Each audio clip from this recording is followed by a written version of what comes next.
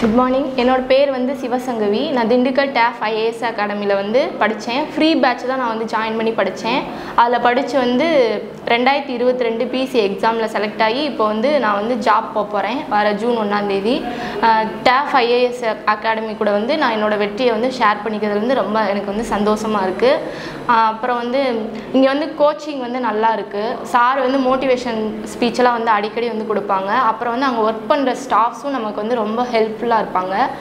அவங்களோட personal number கொடுத்தே நம்மளை வந்து உங்களுக்கு என்ன டவுட் என்ன நேரமாக இருந்தாலும் எங்களுக்கு வாட்ஸ்அப் பண்ணுங்கள் இல்லைன்னா ஃபோன் பண்ணி கேளுங்க. நாங்கள் வந்து சொல்லித் தருவோம் அப்படின்னு சொல்லிட்டு சொல்லுவாங்க. எல்லா ஸ்டாஃப்ஸுமே வந்து நமக்கு வந்து ஹெல்ப்ஃபுல்லாக இருப்பாங்க. நம்ம போய் ஒரு டவுட் அப்படின்னு சொல்லிட்டு கேட்டோம் அப்படின்னா நான் வந்து ஃப்ரீ பேட்சில் தான் படித்தேன். ஆனால் நான் டவுட் கேட்டுமே நிறைய பேர் வந்து கிளியர் பண்ணியிருக்காங்க சார் அவங்களாம் அப்புறம் வந்து அவங்க ஒர்க் பண்ண சாருங்க சார் வந்து ரெண்டு சார் வந்து ஒர்க் பண்ணாங்க. அவங்க வந்து எல்லாத்தையுமே ஃப்ரீ பேட்சுன்னு அசால்ட்டாக விடாமல் கொஸ்டின் கேட்டு அன்னைக்கு முன்னாடி நான் நடத்தினதை வந்து கொஸ்டின் கேட்டுட்டு அன்னைக்கு நடத்தினதே உங்களுக்கு என்ன புரிஞ்சிச்சோ அதை சொல்லிட்டு தான் நீங்கள் போகணும். கொஸ்டின் கேட்டு ஆன்சர் பண்ணுவாங்க. அதை சொல்லிட்டு உங்களுக்கு புரி உங்களுக்கு வந்து இந்த டாப்பிக்கில் என்ன புரிஞ்சுச்சோ அதை மட்டும் சொல்லுங்கள் அப்படின்னு சொல்லி சொல்லுவாங்க. அப்படிலாம் நல்ல கொஸ்டின்லாம் கேட்டு நல்லா என்கரேஜ் பண்ணாங்க. அங்கே ஒர்க் பண்ணுற சார் அவங்களாம் சார் மேம் எல்லாமே வந்து நல்லா என்கரேஜ் பண்ணாங்க. கவர்மெண்ட் வேலைக்கு போகணும் அப்படின்றது வந்து இப்போ வந்து நிறைய பேர் வந்து கஷ்டப்படுற ஃபேமிலியிலேருந்து வருவாங்க. ப்ரைவேட் ஜாப் அப்படின்றது வந்து இப்போ வந்து பார்த்தோம்னா ப்ராக்டிக்கலாக நம்ம பார்த்தோம் அப்படின்னா இப்போ கொரோனா வந்து லாக்டவுன் ஆயிடுச்சுல அப்போ ரெண்டு வருஷமாக வந்து ப்ரைவேட் ஜாப் நிறைய கம்பெனிஸ் நமக்கு தெரியும். ஐடி கம்பெனிஸ் இந்த மாதிரி நிறைய கம்பெனிஸ் வந்து இதாகிடுச்சு பிரேக் ஆயிடுச்சு. அப்போ வந்து இந்த ஆனால் வந்து இந்த கவர்மெண்ட் ஜாப்பில் இருக்கவங்களாம் பார்த்தீங்களா வேலைக்கு போய்கிட்டு இருந்தாங்க. அது வந்து என்னோட என்னோட சின்ன வயசு கனவே வந்து ஆர்மியில் போய் இதை இது பண்ணணும் அப்படின்றது தான் ஆனால் ஆர்மி வந்து பொண்ணுங்களுக்கு செட் ஆகாது அப்படின்னு சொல்லிட்டு நிறைய பேர் சொன்னாங்க. ஆனால் அதெல்லாம் வந்து ஒரு இதுக்கு ஒரு ஒரு கஷ்டமாக தெரியல. ஆனால் வந்து நான் ஃபஸ்ட்டு முயற்சி வந்து பிசி பண்ணியிருக்கேன். அது வந்து சக்ஸஸ்ஃபுல் ஆயிடுச்சு. நான் வந்து ரொம்ப தேங்க்ஸ் பண்ணிக்கிறேன் டேஃப் ஐஏஎஸ் அகாடமிக்கு வந்து. தேங்க்யூ எல்லாருக்கும் வணக்கம். என் பேர் சரவணகுமார். நான் திண்டுக்கல் டாப் அக்கா ஐஏஎஸ் அகாடமியில் படிச்சுட்டு இருந்தேன்.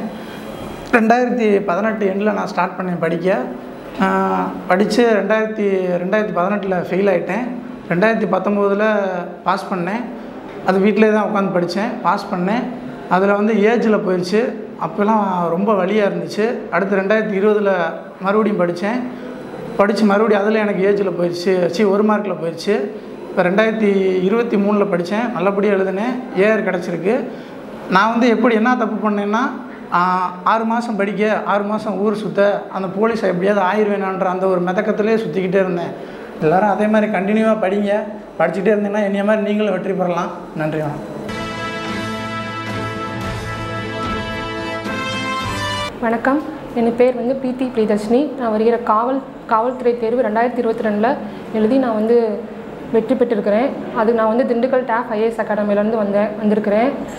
எனக்கு சரியான வழிகாட்டுதல் ஸ்டாஃப் ஐஏஎஸ் அகாடமி கொடுத்துருக்காங்க. நான் வந்து ஃப்ரீ கிளாஸில் ஃப்ரீ கோச்சிங் வந்து ஹானஸ் பேட்ச்னு ஒன்று வந்து ப்ரொவைட் பண்ணாங்க. நானும் உங்களை மாதிரி தான் வந்து ஃபஸ்ட் உட்காந்து படிச்சுட்டு இருந்தேன் சரியான வழிகாட்டுதல் இல்லை. அப்போயும் நிறைய பேர் மோட்டிவேஷன் ஸ்பீச்சு கூட்டிகிட்டு வந்தாங்க. எனக்கும் நம்மளும் இப்படி பேச முடியுமா? அப்படின்னு நானும் நிறைய ஏங்கியிருக்கேன்.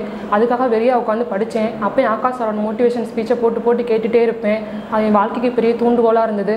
பெண்களாகிய நீங்களும் இந்த துறையில் சாதிக்கலாம். யாராவது எதுக்கு இந்த போலீஸ் ஃபீல்டு அப்படின்னு கேட்டாங்கன்னா நீங்கள் அதெல்லாம் பெரிய இதாகவே எடுத்துக்கக்கூடாது. நீங்களும் சாதிக்கணும். அதாவது ப பணம் கட்டி படிக்க முடியாது எத்தனையோ பேர் இருப்பீங்க. இந்த இலவச வகுப்பை நீங்கள் வந்து துச்சமாக நினைக்காம அதையும் நீங்கள் வந்து ஒரு மோட்டிவேஷனாக எடுத்துக்கிட்டு படிக்கணும். நான் இது வரைக்கும் வந்து ஒரு ரூபா கூட செலவழிக்காமல் என்னோட உழைப்பு மட்டும்தான் கொடுத்தேன். அவங்க வழிகாட்டுதல் கொடுத்தாங்க. ரெண்டையும் ஈக்குவல் பண்ணி எனக்கு வெற்றி கிடச்சிருக்குது. நீங்களும் வந்து இந்த பயிற்சியை வந்து நீங்கள் அசால்ட்டாக நினைக்காம டெய்லியும் கிளாஸ் வாங்க. டெய்லியும் கிளாஸ் நடக்கும். ஏழை மாணவர்கள் நிறையா பேருக்கு இந்த வகுப்பு நிறையா யூஸ்ஃபுல்லாக இருக்கும். அதை நீங்கள் வந்து எப்படி எப்படி சொல்கிறதுனா சிலர் வந்து பத்தாயிரம் பதினைந்தாயிரம் சொல்லி காசு கட்டணுமே. ஐயோ நம்ம வேலைக்கு போய் காசு சேர்த்து தான் படிக்க வரணுமே அப்படின்னு நீங்களும் வருத்தப்பட்டு பணம் சேர்த்துட்ருப்பீங்க அதெல்லாம் எதுவுமே தேவையில்லை. இலவச வகுப்பு ஹானஸ் பேட்ச் டெஸ்ட் பேட்ச்க்கு நீங்கள் ஒரு ஆயிரரூபா ரெண்டாயிரரூபா செலவழிச்சாலே போதும். உங்கள் உழைப்பை கொடுங்க. உழைப்புக்கேற்ற பலன் கிடைக்கும். நீங்களும் அடுத்த ரெண்டாயிரத்தி இருபத்தி மூணில் காவலர் ஆகிறதுக்கு என்னோடய வாழ்த்துக்கள்.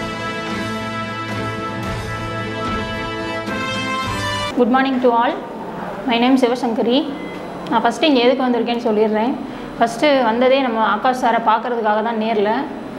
நான் படித்தது திண்டுக்கல் டேஃப் ஐஏஎஸ் அகாடமியில் படித்தேன் நான் வந்து டெஸ்ட் பேட்ச் மட்டும்தான் அட்டன் பண்ணேன். அவர்னால தான் நான் பாஸ் பண்ணது.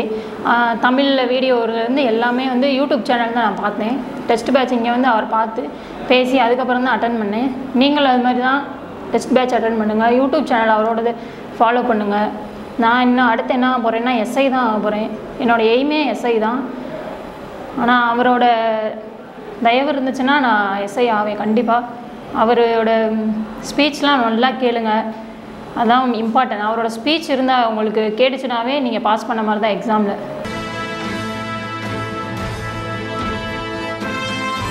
I Mahalakshmi two thousand twenty two PC clear பண்ணியிருக்கேன்.